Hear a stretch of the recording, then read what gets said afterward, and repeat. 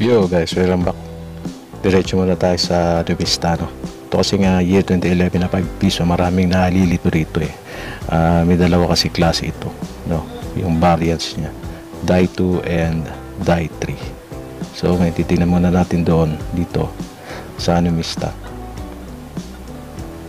Ah, review tayo kasi itong 2011 na to, medyo mababa ang mintage, yung common niya. Lalong-lalo na po yung uh, Ubers 3. Ayan. Halos magkamukha kasi itong Daito na to eh, tsaka Daito 3 ng 2011. Kaya yung iba, inakala nila yung kanilang hawak ay Ubers 3 na. So, lilinawin natin ngayon yan. Papaliwanag natin ng maayos yan para hindi po kayo malito kung meron po kayong hawak nito.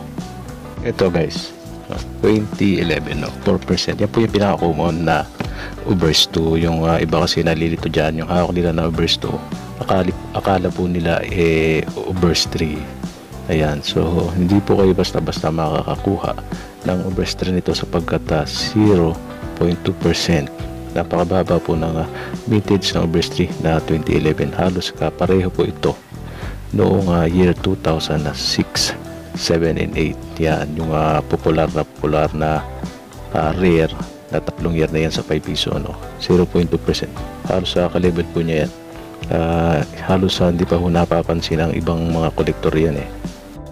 Itong year 2011 na to parang wala pa nga ako nakakita na mga kolektor dito sa youtube na uh, bibili sila nito.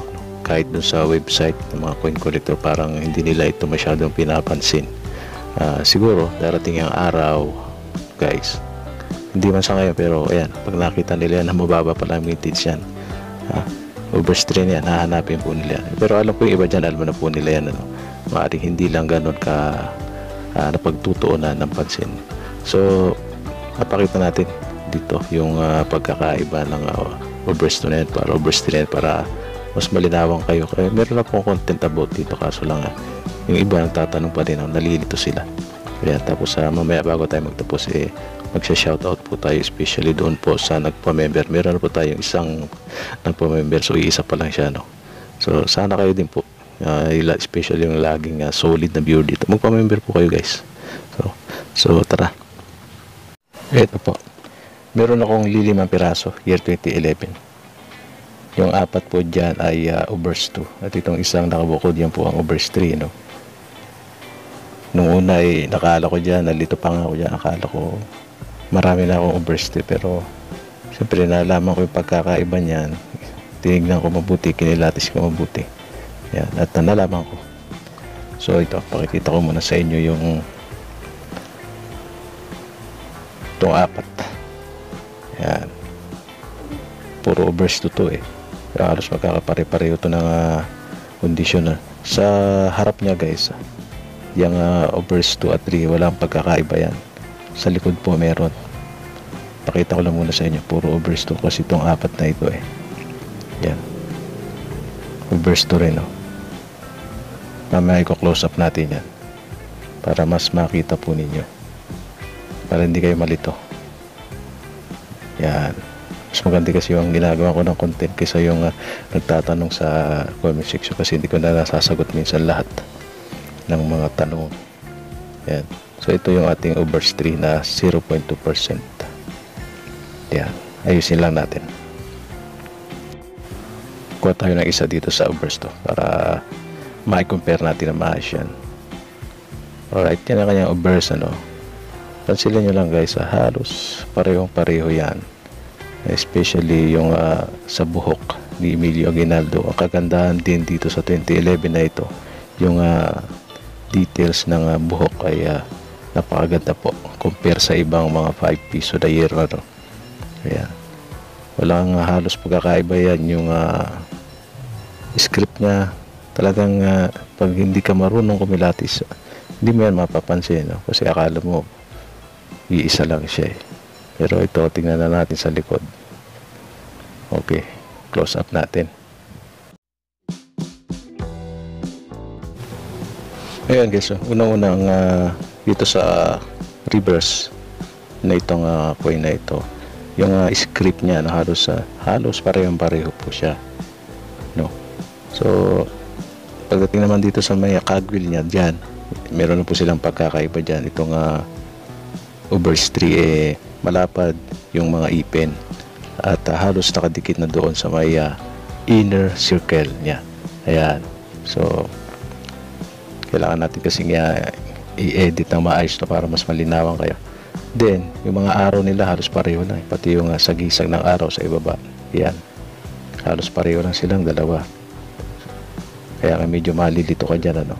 At uh, ito na lang, ang pinakamalaking din pagkakaiba nito, yung year na 1993 nitong uh, Urbers 3, uh, medyo wide siya, malalapad at medyo makapal yung mga let uh, numbers niya compare dito sa may uh, Ubers 2 no? at itong uh, Ubers 3 nga guys ano uh, yung uh, numbers halos nakadikit na doon yan. Sa may inner circle na yan yung may arrow na yan. Halos nakadikit na siya dyan.